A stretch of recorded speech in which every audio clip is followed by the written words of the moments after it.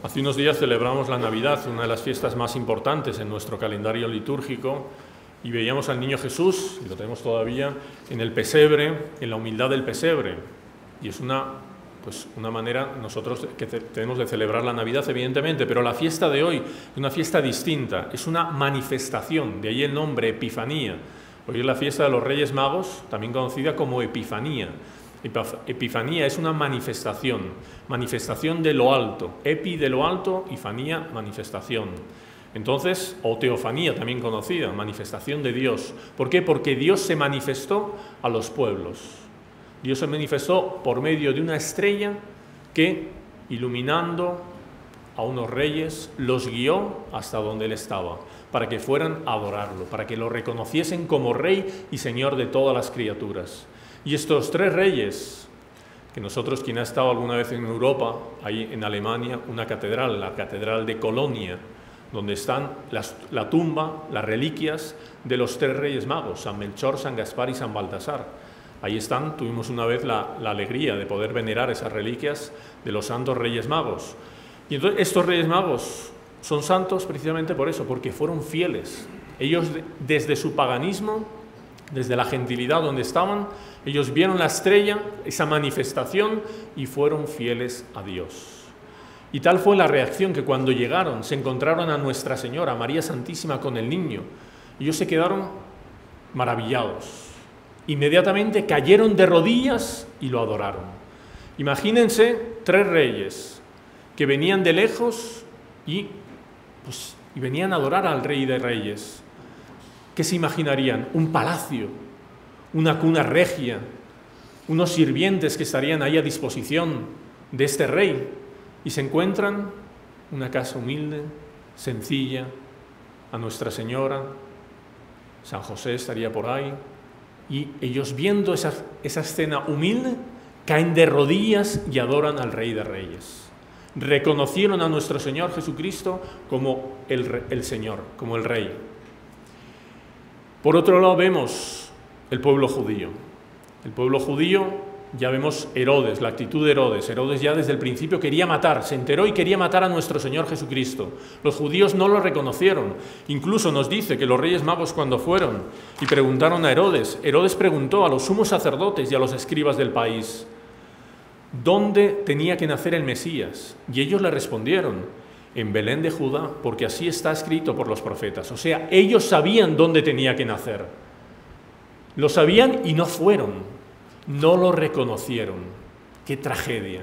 Y entre ellos, porque vemos que en el pesebre estaban pastores, están reyes, pero no están, por ejemplo, estos sacerdotes. Sacerdotes que sabían que iban a hacer ahí y no fueron a adorarlo. No lo reconocieron. Vemos después que estos, el pueblo judío también, no solamente lo persiguió, sino que lo crucificó. No lo reconoció. ¿Qué situación? La de los reyes magos, que eran los paganos, ven esa estrella y siguen al rey de reyes. El pueblo judío que había visto tantos milagros, lo que convenció a los, a los reyes magos, ¿qué fue? ¿Qué es lo que más convence? ¿Una luz de una estrella? ¿O son milagros de nuestro Señor Jesucristo? La vida de nuestro Señor Jesucristo, resurrección de un muerto, de varios muertos, curación de enfermos, de leprosos. ¿Qué fue lo que a unos le movió a una actitud y a otros otra? Los Reyes Magos, a pesar de vivir lejos, a, vivir, a pesar de vivir en otra religión, ellos cuando vieron la estrella, ellos tenían un corazón lleno de inocencia. Ellos escucharon la voz de Dios y fueron dóciles a esa voz de Dios. No tuvieron un corazón duro, en cambio vemos los otros, los que vieron milagros, los que escucharon a nuestro Señor Jesucristo, los que escucharon y vieron a Lázaro salir del sepulcro resucitado de nuevo, que luego gritaban, crucifícalo, crucifícalo. ¿Por qué? Porque tenían el corazón duro. Unos aceptaban a Dios, habían sido fieles a Dios porque habían visto una señal y habían con el corazón inocente, lleno de candura, seguido habiendo sido fiel a nuestro Señor Jesucristo. Los otros con el corazón duro, a pesar de haber visto la cantidad de milagros que vieron, no reconocieron al Señor. Por eso el Señor los increpaba y les decía, hipócritas, sepulcros blanqueados. Y nosotros, en esta fiesta de la Epifanía, de la manifestación, ¿No habremos tenido también nosotros manifestaciones en nuestra vida? Manifestaciones en las cuales Dios hablaba a mi corazón o por medio de una señal también, externa, incluso podría ser. Unas palabras de un amigo, de un sacerdote, un sermón, delante de una imagen, de un crucifijo, en una confesión, mil cosas. Yo no he escuchado una voz, no he visto una señal en la cual se me pedía seguir a nuestro Señor Jesucristo, se me pedía dejar cierto defecto que yo tengo, cierto pecado que yo estoy acostumbrado a cometer, ciertas amistades, hacer el bien que yo no estaba haciendo, no solamente no hacer el mal, sino hacer el bien, una señal para yo hacer mejor, para dar un paso más, para salir de mi comodidad, de mi catolicidad estancada, no sé ya que yo he recibido esas señales. ¿Y cuál ha sido mi actitud? ¿Habrá sido como el pueblo que rechazó y no reconoció a nuestro Señor Jesucristo?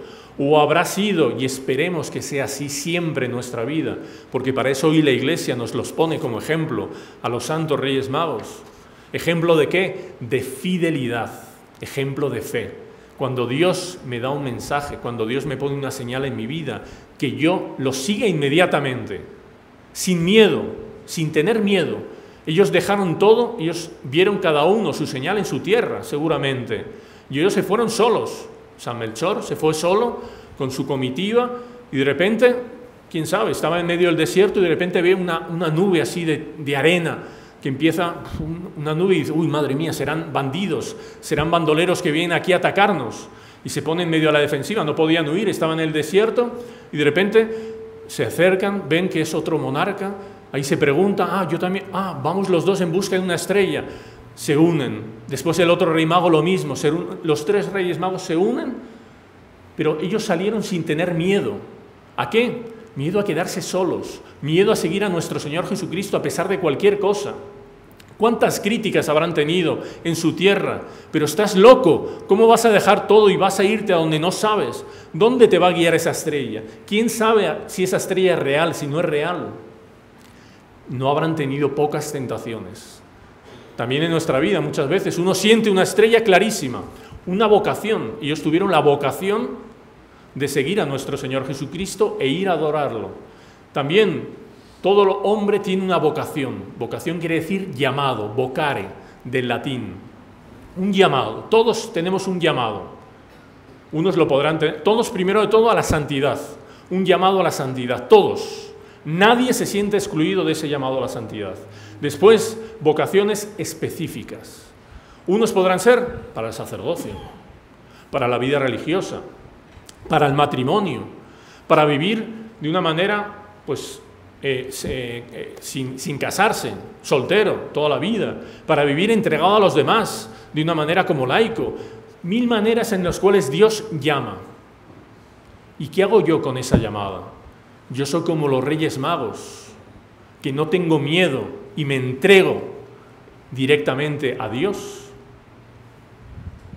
Porque hay de aquel que no escucha la llamada de Dios, peor, el que se ríe de Dios. El que se ríe de Dios está ganando su propia condenación. ¿Por qué? Porque no está siendo fiel a su vocación, al llamado que Dios está haciendo a él. Cada uno de nosotros, nadie lo dude, tiene una estrella. Esa estrella se llama la gracia de Dios. Todos nosotros tenemos esa estrella que nos va iluminando, nos va guiando hacia dónde? Hacia nuestro Señor Jesucristo, hacia la santidad, hacia cumplir la vocación que cada uno de nosotros tiene. Basta seguir esa estrella. Esa estrella se llama gracia, que es una participación de la vida increada de Dios, una participación creada de la vida increada de Dios. Eso es la gracia. Esa gracia viene de una manera clarísima, difundida, derramada por la Santa Iglesia Católica, que forma parte de esa luz que nos ilumina con su verdad, con su ciencia, con su santidad, con los sacramentos, con su verdad. Por lo tanto, yo tengo que estar atento y seguir siempre la estrella, la luz que me lleva a mi santificación, la luz que me lleva a cumplir mi vocación, pero no de una manera cualquiera, mi vocación de una manera auténtica, de una manera dedicada, de una manera realmente con radicalidad, amando el bien y abrazando el bien. Eso es lo que nosotros pedimos hoy en esta Santa Misa. Pedir a los Reyes Magos que ellos, como ellos son, ellos que son ejemplo de esa entrega, de ese no dudar, de ese entregarse y escuchar la voz de Dios y ir directos hacia donde está llamando Dios. Que también nosotros seamos así, siempre que escuchemos la voz de Dios. Yo realmente escucho la voz de Dios, yo le doy tiempo, espacio a Dios en mi vida para escuchar esa voz, porque a veces estoy tan lleno de actividades que no escucho la voz de Dios. No soy capaz de ir a adorarlo como fueron los Reyes Magos en estas Navidades. ¿Cuántas veces me habré puesto yo delante de una imagen del niño Jesús en casa, en una iglesia, y le habré, le habré querido entregar, como hicieron los Reyes Magos, que le entregaron el qué? Oro, incienso y mirra. ¿Cuántas veces yo he querido entregarle también? Me he acercado en estas Navidades, todavía tengo tiempo, y ofrecerle oro, incienso y mirra. Oro que simboliza que yo lo reconozco como rey, como mi Señor. Incienso que simboliza que yo lo reconozco como Dios. La mirra que simboliza que yo reconozco todo el sacrificio, el sufrimiento que Él hizo por cada uno de nosotros para salvarnos de la muerte y del pecado. Por lo tanto, yo tengo que ofrecerle el oro de mi amor, el amor que yo tengo a mi Señor, a mi Dios, aquel que es, yo soy su vasallo y yo quiero tener todo el amor posible para él, depositar a los pies del niño Jesús ese amor. El incienso, la oración.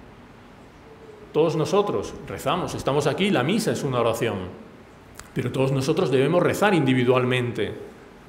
Mi oración es como el incienso, el incienso va subiendo hacia Dios, mi oración que suba a Dios como el incienso y que sea una oración constante, perseverante, una oración auténtica, no caprichosa que es cuando yo quiero, sino una oración en las cuales yo estoy continuamente adorando a Dios, estoy continuamente pidiéndole todas las cosas que necesito. La mirra, la mirra de mis sacrificios. Ofrecer a Dios cualquier sacrificio, todos los sacrificios que todos nosotros tenemos en el día a día, pequeñas molestias, pequeñas incomodidades, ofrecerlas, ponerlas a Dios.